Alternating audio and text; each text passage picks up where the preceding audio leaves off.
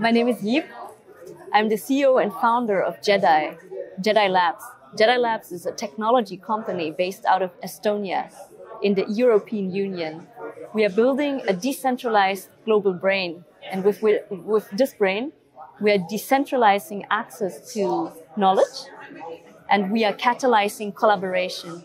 In particular, collaboration that is supporting the advancement of the United Nations Sustainable Development Goals. Mm, yeah. Okay, so uh, how long you been doing this? So my work in the blockchain space has ranged back to 2020, where I met at the World Economic Forum Joseph Lubin, who was one of the co-founders of Ethereum blockchain. Ethereum blockchain is the second largest technology company in the Web3 space at the moment with a market cap that is probably around 400 billion US dollars.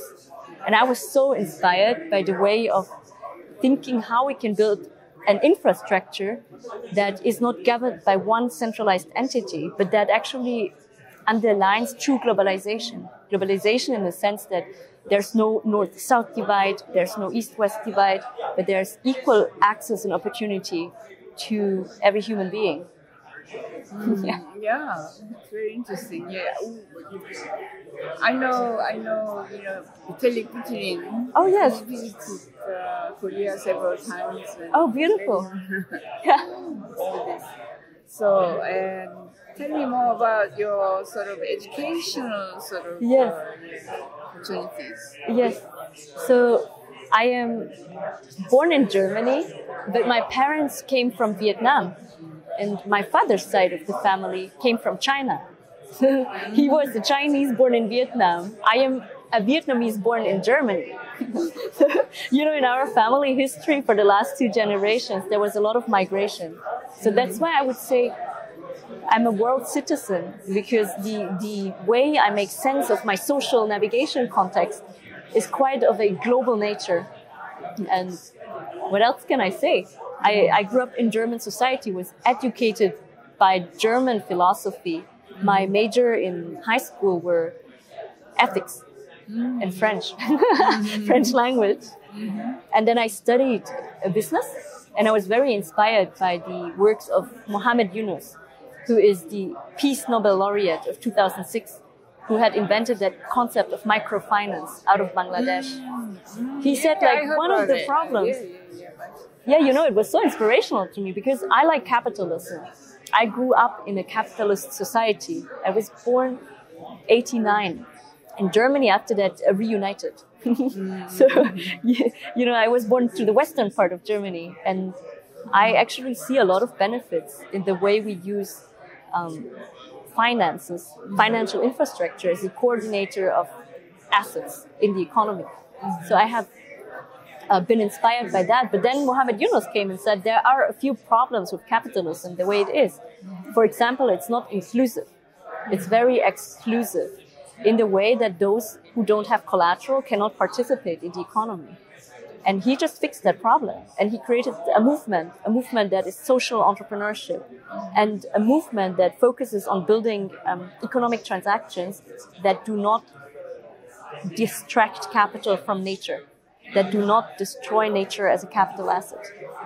And then I was really inspired and I studied and I worked for um, different entities in Germany, in Berlin, for one of the largest German venture capital accelerators named Rocket Internet. I worked with uh, McKinsey, a strategy consulting company, trying to understand how governments should make decisions, how CEOs of top companies make decisions. Then I went into blockchain after I met um, Joseph Lubin and then I started my own project. And along the way, because I noticed decision making should not only come from the brain, but also from the heart. I went to Asia to study the wisdom of the heart, and I became a meditation teacher. I have, some meditation ventures too. and now I'm integrating. Very interesting. Yeah. Okay. You've are just wonderful. Yeah. You've done quite a lot. you, I'm just stepping into footsteps of leaders like yourself. Like seriously. Yeah. So, um, for you, uh, you are well settled in Germany, Yes. right? What do you think you have to teach German children for BGI or AGI? Do you think we should teach them early enough what they are? I think first we should teach German children um, to not fear the unknown. It's a mindset thing. Because if you don't fear the unknown, you don't fear failure. And then you can conquer anything. You can learn anything. May it be AI, cybersecurity, quantum, anything. Because you, when you have this mindset of can do and curiosity to learn, then I I think imagination um, has no limits. It's very good. uh, so if you think of uh, uh, some sort of opportunity for us, you know, all four of us on the stage Yes. could work together, what could that be? Like blockchain, whatever, um, Yeah. networking, or uh, any other? You know, out of the United Nations Sustainable Development Goals, many have been very well explored, but one that has been underserved, I think, is number 17 um, global strategic partnerships. This has not yet been very well developed on global stage, and I think we can embody that leadership together. Yeah. and I, I really loved I really loved how you took a voice and expressed your ideas of creating matching funds.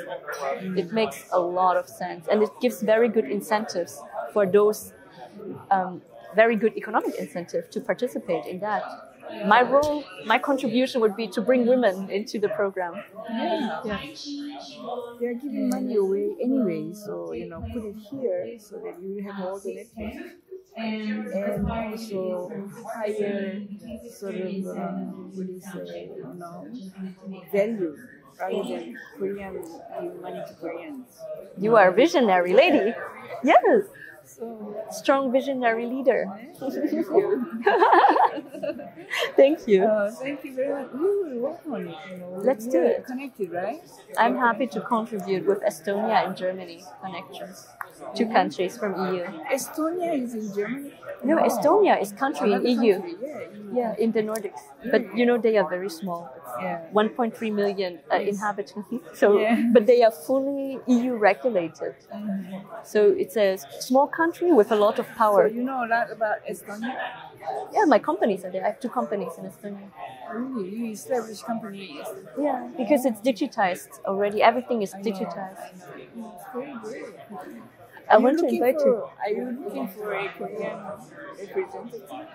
Yeah, we are soon going to also um, go to Korea Blockchain Week. I think this September, O- October, November. I have never been to Korea, so um, we will go there Yeah, if you can come. support Yeah, us. can. Yes. I know almost everybody in the in that sort of you know blockchain.